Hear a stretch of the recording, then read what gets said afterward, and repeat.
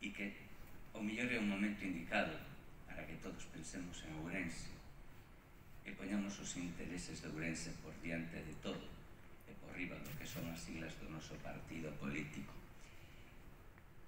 Todo mundo sabe que eu non comparto moitas das decisións que se adoptaron, pero en todo caso abandono a política activa, necesito volver a miña facultade, a miña outra casa,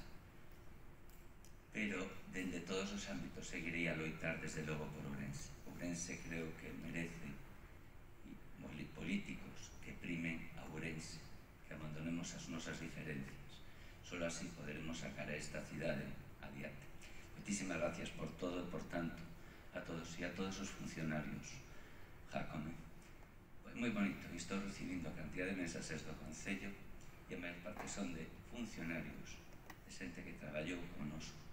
Moi bonito esos mensaxes. Moitísimas gracias. Gracias a ti.